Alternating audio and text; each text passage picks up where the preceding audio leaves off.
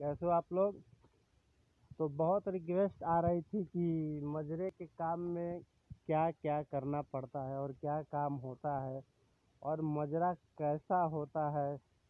तो कुछ मजरा के बारे में बताएँ। एक मैंने वीडियो डाला था, वो कभी करीब करीब बीस हज़ार व्यू गया उसका और उसमें कमेंट में आया कि आप सिर्फ़ मजरे को दिखाए हैं, उसके काम के बारे में आपने बताया नहीं।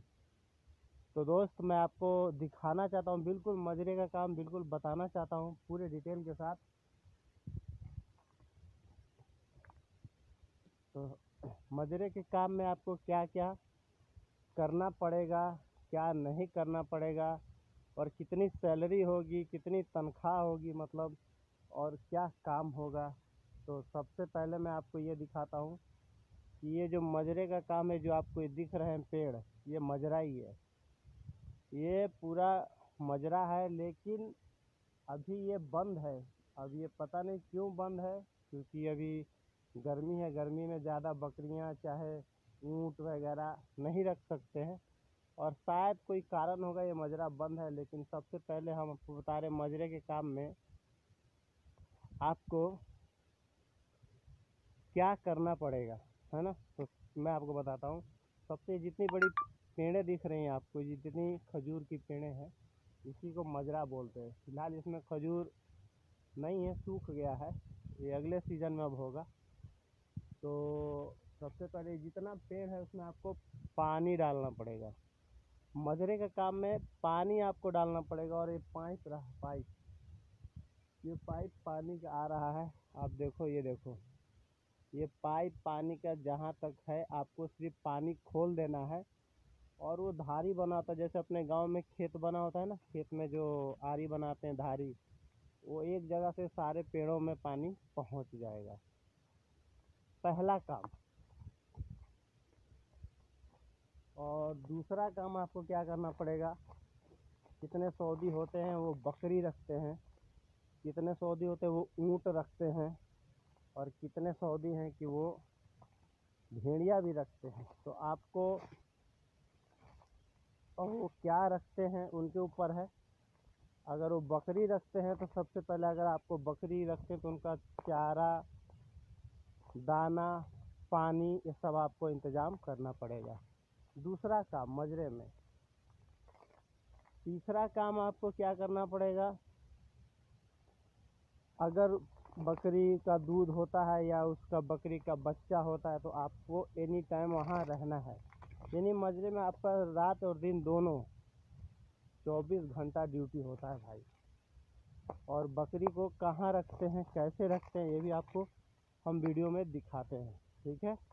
आज हम घुस गए हैं मजरे के बीच में, लेकिन और उनका घर कैसा होता है, ये भी हम आपको दिखाएँगे। अभी तो फ़िलहाल सारा घर टूटा फूटा हुआ है। और हम बता दे रहे हैं कि मजरे के काम में कैसे क्या करना पड़ता है। बकरियाँ नहीं है, बाकी सब सेम है। बकरियाँ चाहे ऊँट। आदमी शायद इसका होगा, लेकिन कहीं होगा, पता नहीं। तो ये लंबी वीडियो होगी, थोड़ा देखना। और हम आपको बता रहे हैं कैसे। देखिए, ये घेरावा है।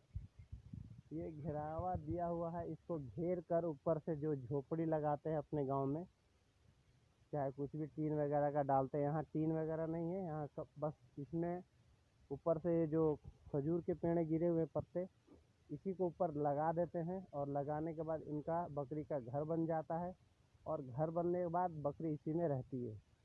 चाहे ऊँट होगा तो यहाँ पर उसको बगल में बाँध दिया जाएगा, ये छाँ होता है, ये मजरा पूरा छाँ है और इसी को बोलते हैं मजरा। तो आपको ये तीसरा काम मैंने बताया मजरा में आपको बकरी का सेवा पानी करना पड़ेगा चाहे ऊँट हो, चाहे बकरी हो, चाहे भेड़िया हो, जो भी हो, आपको ये सब सेवा पानी करना है। बस आपका मजरे में काम यही होता है। ठीक है और खजूर वजूर होता है तो आपको तोड़ना है। अगर आपको चढ़ने आता है तो चढ़ सकते हैं, तोड़ सकते हैं, नहीं तो उसके लिए आदमी दूसरा रहेगा। तो ये मजरा है बिल्कुल अभी बंद और ये देख, सामने बहुत अच्छा पुराना किला है। ये जो अच्छा लग रहा है देखने में। दूर से। आइए, इसको पास चलते हैं हम। तो हमने आपको काम बताया। पहला काम, मजरे में पानी डालना है पेड़ों में। दूसरा, बकरी हो चाहे ऊँट हो, जो भी उसका देखभाल करना है। तीसरा, एक्टिवेट रहना, यानी हरदम आपको चौबीस घंटा ड्यूटी पर रहना है। वो दिन में, रात में जो भी हो, कहीं बकरियाँ बच्चा दे दी, ऊँट बच्चा दे दिया तो उसको देखभाल करना है। और दूध वगैरह निकाल सकते हैं तो यही ड्यूटी होती है मजरे का। कोई खास ड्यूटी नहीं होती है। लेकिन सबसे प्रॉब्लम वाली बात ये होती है दोस्त कि आदमी मजरे में इसलिए नहीं रह, रहना चाहता है कि वो आउट एरिया में होता है। जैसे ये आउट एरिया है आप कहीं जाओगे तो आपको उधर दुकान नहीं मिलेगा। दो दो किलोमीटर तक आपको कोई सामान नहीं खरीदने को मिलेगा जैसे मार्केट में नहीं होता है। जैसे गाँव देहात में होता है दो सौ तीन सौ कुछ हट कर तो गाँव को आप समझ लीजिए ये देखिए पानी का पाइप है। इससे पानी आप डाल सकते हैं। तो ये मजरे का काम में यही होता है।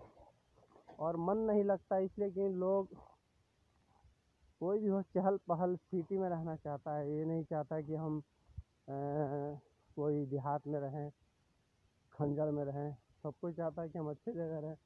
तो इसीलिए मजरे में उनका दिल नहीं लगता और मन नहीं लगता। इसीलिए लोग आते हैं और भाग जाते हैं, यानी चले जाते हैं।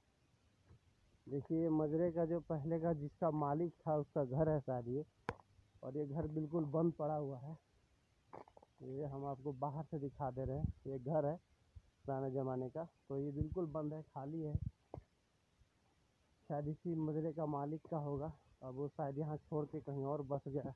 कहीं और चला गया तो अंदर भी बिल्कुल घर ही है, बिल्कुल देखिए आप, घर है।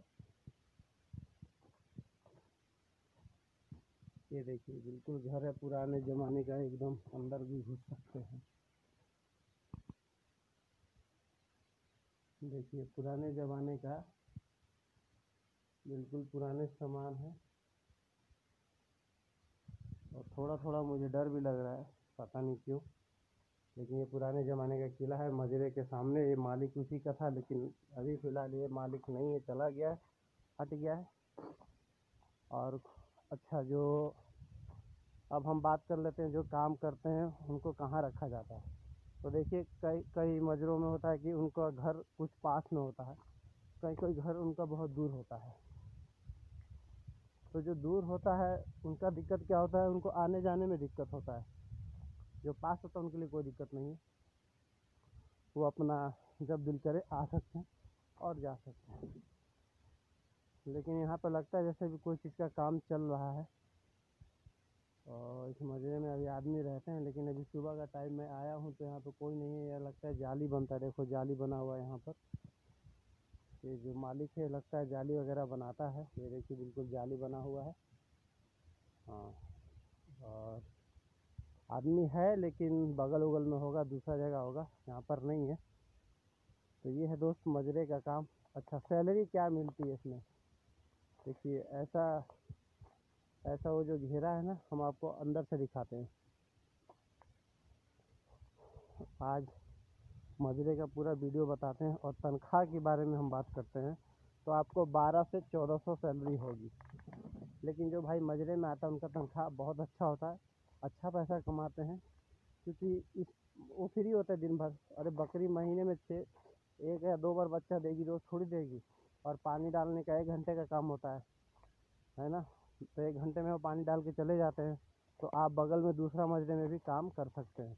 और आप वहाँ से भी पैसा ले सकते हैं, दूसरे सऊदी से बात करके।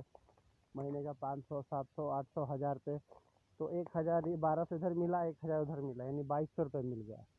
अगर ऐसे करके दो तीन मजरा, एक मेरा दोस्त है, उसने दो तीन मजरे में, एक मजरे में आया है, लेकिन दो तीन मजरे का काम पकड़ा है।